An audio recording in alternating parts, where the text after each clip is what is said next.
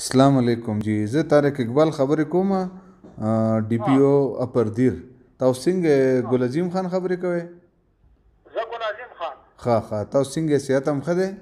خیر دی الحمدلله بس تاسو ښه شکر دی الله فضل دی تاسو جی موږ سره یو اف آی آر کړی او علت 368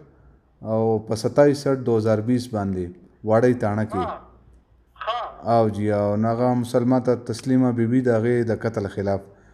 نو بزه تاسو نه دا پښتنه کول غواړم چې تاسو د پولیس د تفتیش نه او د پولیس د کاروایی نه مطمئن یې نو بلکل مطلب دا ده چه بلکل ته مطمئن یو چه حق سچ یی نو مطمئن اوسی. ښه جی ښه بس بس دغه ان شاءالله موږ خو همدغه منډیټ دی چی حق به یی او سچ به یی او دغه زموږ د افسرانو هم موږ ته هدایات دی او د حکومت هم دی نو هغه به ان شاءالله موږ انصاف کوو.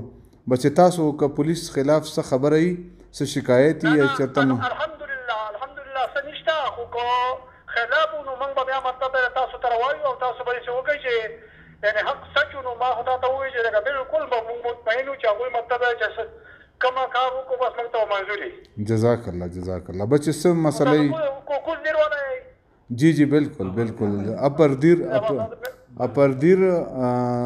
زه د پولیسو مشر یم ډي پی او ورته وای ډیسټریکټ پولیس افیسر او زما طارق اقبال نوم دی نو بس که تاسو جاوید اقبال کنه طارق اقبال طارق اقبال